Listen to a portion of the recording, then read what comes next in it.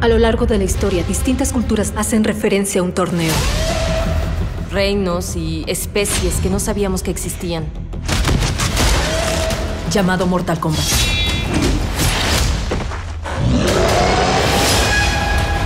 El destino de la Tierra está en nuestras manos.